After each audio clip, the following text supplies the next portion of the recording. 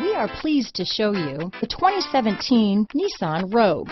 The stylish Rogue gets 27 mpg and still boasts nearly 58 cubic feet of cargo space.